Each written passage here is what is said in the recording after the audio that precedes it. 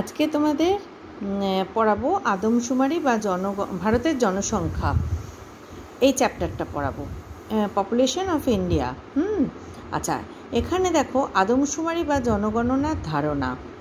আদমশুমারি কি? এটা ভীষণ, ভীষণভাবে ইম্পর্টেন্ট একটা কোয়েশ্চেন আসে। আদমশুমারি হলো কোনো দেশ বা এলাকার জনসাধারণ সম্পর্কে তথ্যাদি সংগ্রহ ও নথিভুক্তকরণের এক প্রণালীবদ্ধ পদ্ধতি। মানে প্রত্যেক বছরে দশ বছর অন্তর অন্তর আমাদের দেশের জনসংখ্যা গণনা করা হয়।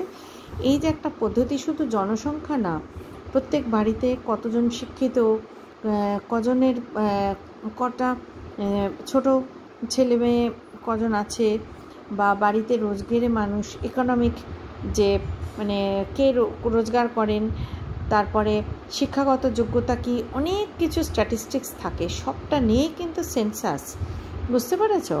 আচ্ছা আদমশুমারি কথাটা এসছে, উর্দু শব্দ আদম অর্থাৎ লোক আর সুমার, বা সুমারি মানে হচ্ছে গোনা, এর থেকে।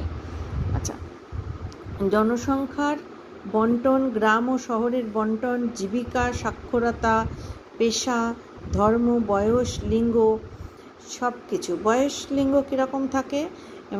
ধরো জিরো থেকে মানে শূন্য থেকে চার বছর বয়স অবধি কতজন লোক সংখ্যা? একটা গ্রাম ধরে নিতে পারা যায়, একটা রাজ্য হতে পারে, একটা জেলা হতে পারে, সব রকমভাবে। তারপর চার থেকে আট বছর, আট থেকে বারো বছর ব্রেকআপ অনুযায়ী একদম মানুষের বৃদ্ধ বয়স পর্যন্ত এরকম মানে পিরামিডাল স্ট্রাকচার হয়। শূন্য থেকে চার বছর বয়স অবধি শিশু মানে মেয়ে কজন, ছেলে কজন? আবার তার পরের বয়স চার থেকে আটে কজন মানে মেয়ে, কজন ছেলে, এইভাবে কিন্তু ব্যাপারটা চলতে থাকে। বুঝতে পেরেছ? এবার ভারতের জনসংখ্যার কিছু তথ্য তোমাদের বইতেও আছে। এটা আমি অন্য বই থেকে পড়াচ্ছি ঠিকই। তার কারণ হচ্ছে তাহলে তোমাদের একটু রেফারেন্স দেখার সুযোগ থাকে। আবার যেটা তোমাদের বইতে ভালো আছে, সেটা তোমাদের বই থেকেও বলতে পারি। আচ্ছা এরপরে বলব জনসংখ্যা বৃদ্ধি স্থিতিশীল উন্নয়ন বা ধারণযোগ্য উন্নয়ন।